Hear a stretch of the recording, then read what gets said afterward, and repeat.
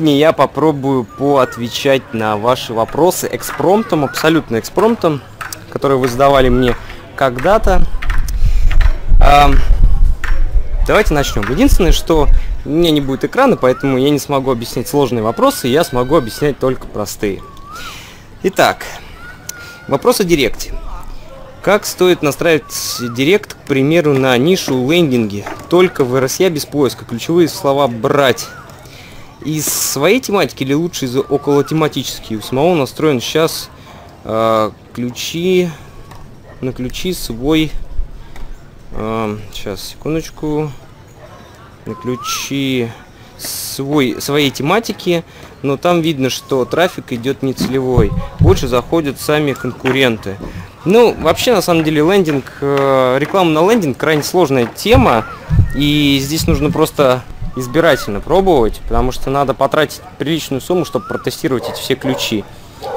В РСЯ работает очень хорошо Директ. Вот лендинги работают там очень, ну, как бы нормально, но смотрите, сколько вы хотите заплатить за клиента. Потому что стоимость нормального клиента в Директе с РСЯ на landing page стоит около 5-7 тысяч рублей. То есть, если вы хотите и дешевле, то извините, это не тот вид трафика. Что именно нужно знать в метрике только для директа? А, для директа в метрике нужно знать, что такое а, первое. Вам необходимо знать, что такое фраза по дням и где искать их. Во-вторых, ну, вам нужно уметь э, правильно настроить веб-визор и им уметь пользоваться.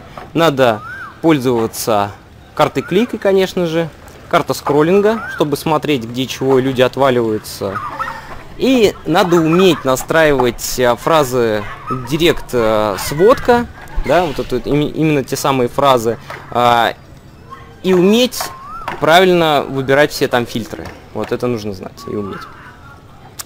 А, Константин, пользуешься ли ты каким-то сервисом для ведения бухгалтерии и сдачи всей отчетности? Нет, я пользуюсь бухгалтером. Где найти нанять работу хороших директологов? Хорошие директологи, ну вообще хорошие директологи, они работают в крупных агентствах. Если вы хотите их приманить, ну обычно они работают сами на себя на самом деле, хорошие директологи, давайте будем честными. А, супер хороших директологов, то есть лучше, например, вас, вы навряд ли найдете, потому что эти люди уже работают в каких-то агентствах, с вами им неинтересно работать, если только не у, у вас не очень большой поток трафика, что я тоже сомневаюсь. Ну, на данный момент, на 2015 год, во всяком случае. Почему их приходится увольнять рано или поздно? Ну, директологи такие, это любой, абсолютно любого можно взять. Цикл жизни есть у любого абсолютно сотрудника и абсолютно пофигу, а, директолог это или нет. Почему их приходится увольнять? А, ты ответил. Почему ты стал так много материться на YouTube? Не знаю. Я стараюсь не материться. В последнее время особенно. А, кстати, у нас разрешили теперь материться, ну, то есть штрафы уменьшили за мат, э, и теперь ничего не банится, поэтому все матерятся. Когда тренинг директологов будет проводиться вживую, не знаю, навряд ли, что он будет вообще вживую проводиться, потому что более эффективно проводить его в онлайне, как оказалось. А, так, следующий от другого человека уже вопросы. Какой робот для коррекции ставок использовать? Корректировки, наверное, правильно. Ну ладно. И пользоваться вообще им стоит или нет. А, на данный момент, если говорить про декабрь 2015 года, где на данный момент используется Яндекс Директ 2.0, использовать корректировки ставок, в принципе, можно, но особо от этого смысла нету. То есть, в принципе, любой корректировщик ставок это тот же инструмент, который есть в Яндекс Директе, которым вы просто не умеете пользоваться. А там он просто автоматизирован. То есть, ни больше, ни меньше. А, а так можно пользоваться всякими директ-автоматами и прочей гадостью, ну, на радость вам. А, не совсем понял, как будет работать новый алгоритм цены клика в Яндекс Директ. Можно поподробнее, какие плюсы и какие минусы нового алгоритма а, цен будет вообще и есть на данный момент уже это вопрос просто старый в новый на новом аукционе Яндекс Директ. Там на самом деле с чем первое связано? С тем, что Яндекс Директ теперь делает акцент на CTR. То есть э, вам необходимо делать очень кликабельное объявление, и это, в принципе, правильно, но это убивает всю одноцентовую вашу политику. То есть, если у вас э, была раньше идея сделать много одноцентовиков, теперь э, в новом директе это будет сложнее. То есть это просто будет тупо дороже.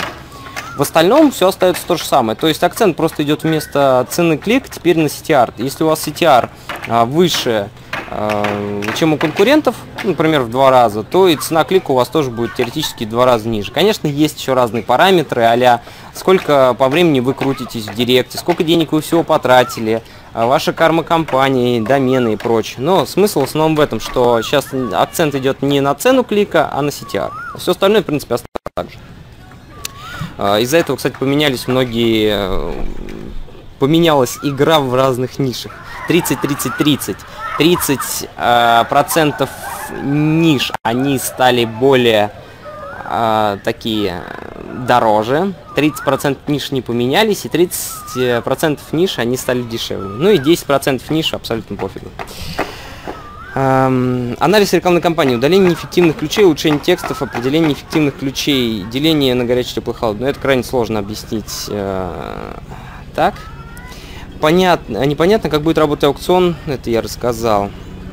А, как лучше продвигать директ для интернет-магазина кухонных гарнитуров без оформления товаров в корзину. Прямой звонок от клиента ну, это ж кухни на заказ и кухни, кухонные гарнитуры, там сложностей-то никаких, в принципе, и нету. Кухни на заказ, они же продвигались всегда и будут продвигаться лендинг и все. Если у вас э, а, все-таки большое количество товаров,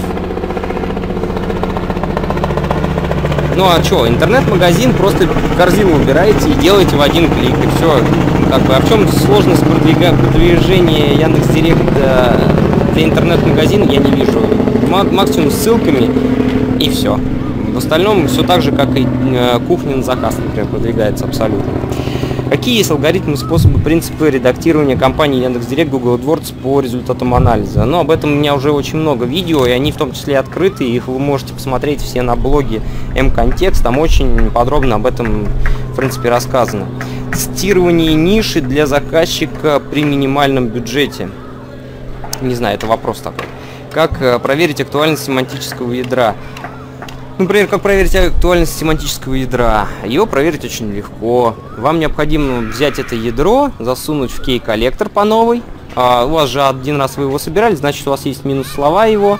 Вы можете закинуть э, полностью а, семантическое ядро, а еще раз прокрутить его по кей-коллектору, и если появятся новые ключи, их можно отобрать в отдельное, в отдельное в отдельную группу. Если они действительно появляются, то просто их докинуть в рекламную кампанию.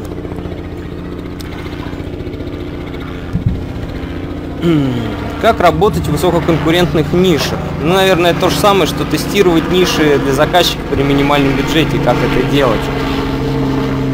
Но, во-первых, а, что, что у нас дано? То есть тестирование ниши для заказчика при минимальном бюджете. А, обычно очень много заказчиков приходят и говорят, у нас есть 500 рублей, мы хотим на них потестировать, например, в юридических консультациях. Ну, если вы хотите потестировать, мы, конечно, вам потестируем за деньги, но результат никакого не ждите большого. То есть э, все же знают прекрасно, что если, вы, если у вас есть э, высококонкурентная ниша, в ней приличный средний чек, например, 50 тысяч рублей, из них, например, прибыли 10, то извольте заплатить за клиента 5. Если у вас э, бюджет на рекламу меньше 5, то, наверное, не стоит вообще работать в Директе. То же самое, кстати, и в высококонкурентных нишах, и в минимальных бюджетах. Ну, то есть я на оба вопрос ответил. Где брать э, клиентов для контекста? Ну, вот это самый, наверное, частый вопрос, который задают мне. Ребят, брать клиентов для контекста нужно из, э, первое, из вашего а, ну, можно сказать, хайпа вашей популярности, потому что если у вас нет популярности и вас никто не знает, а, у вас заказов действительно будет мало. Как, как ни крути. Во-вторых, все стандартные способы рекламы. Директ, э, соцсети, AdWords, все что угодно. Ну и в-третьих, нужно иметь хорошие кейсы. Да, точно, совсем забыл про это сказать.